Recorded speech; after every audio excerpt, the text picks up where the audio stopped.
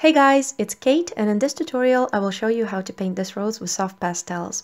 Don't be intimidated if you are just a beginner, it's very easy if you follow the steps that I'm going through. So I'm using Canson Mi Teintes paper for this and soft pastels. I decided to paint a red rose so I'm using a selection of red pastels and then blues for the background and some greens for the stem as well. The first thing I do, I am mapping in my lightest colors. I'm not using whites in my paintings almost ever. I'm trying to substitute my whites with tints of colors. So in this case it's a red rose and I will be using a very pale pink as my lightest value.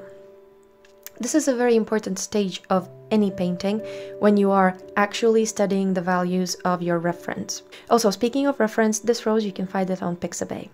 The next thing I do is I am putting in my darkest values and midtone values as well. So for my darkest, I'm using a very dark red, and for my midtone values, I'm going to be using a pinkish red, which is a very pretty color. I never get to use it on my wildlife paintings, except if I'm not doing flowers on the background, but I really truly love this color.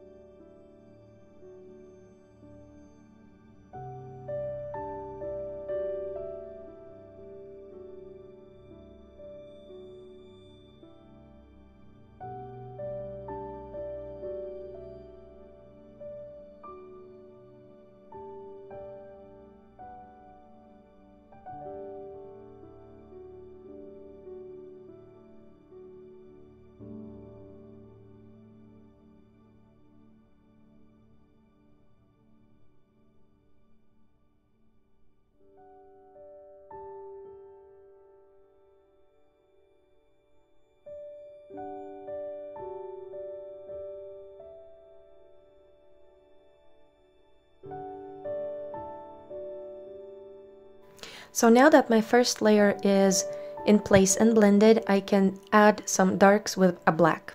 Also dark blues work and in fact I will be adding blues in the end when I will be adding the background. So just to tie in the rose with the background.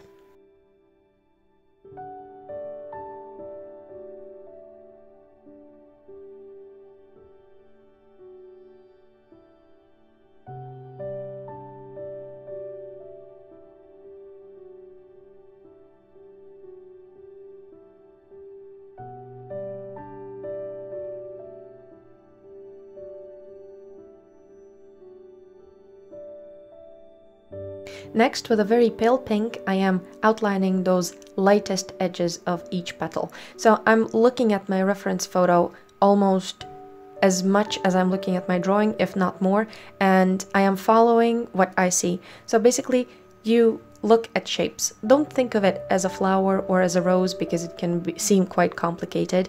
Look at the shapes that you see and break them down in small pieces. That is the approach to any kind of painting or drawing.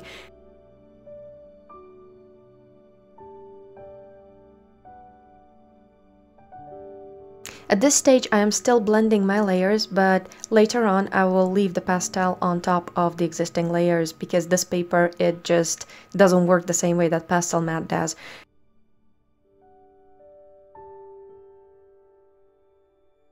I'm also adding some more pinkish red just to intensify those colors. I am working in layers and blending the colors together on the paper.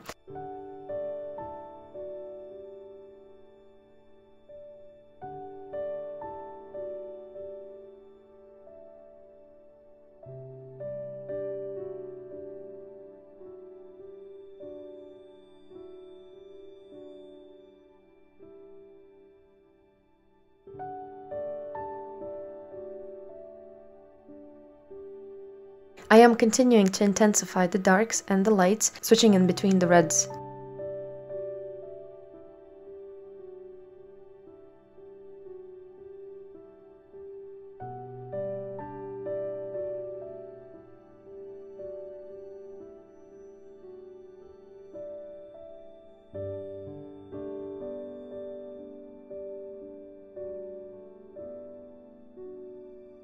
I'm adding some more darkness with my black as I didn't think that my darkest values are dark enough.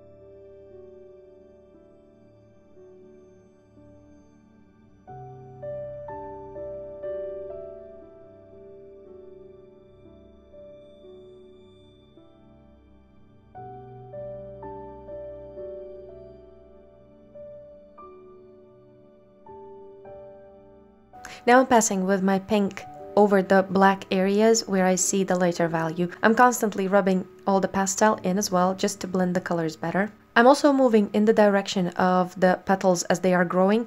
This is going to create that feeling of the petals going out from inside the rose.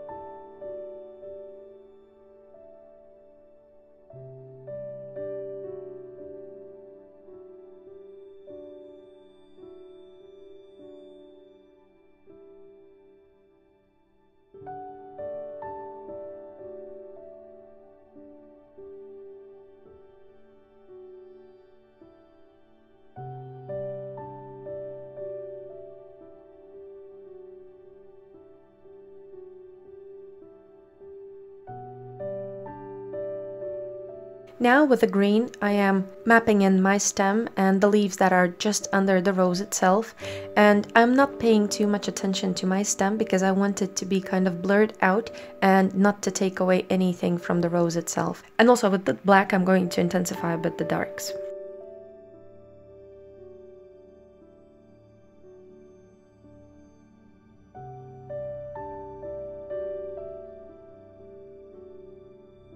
Now with the blue I'm covering all the area around the rose.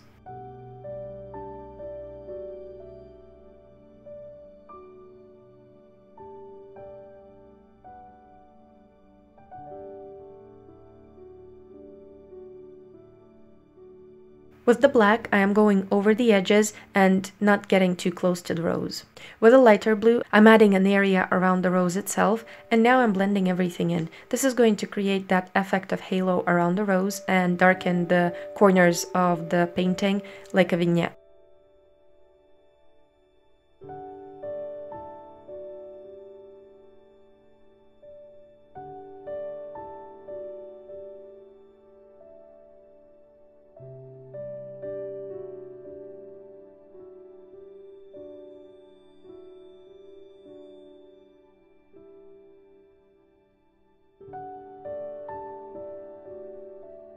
To make the color richer, I'm adding another layer of blue.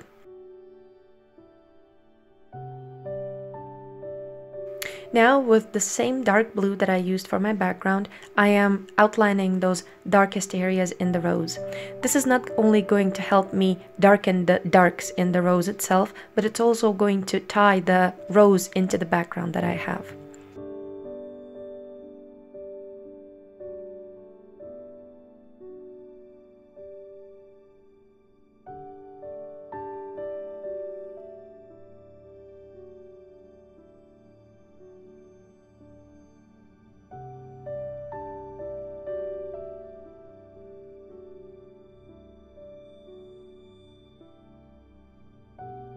And then with the pale pink, I am outlining again those lightest edges of petals.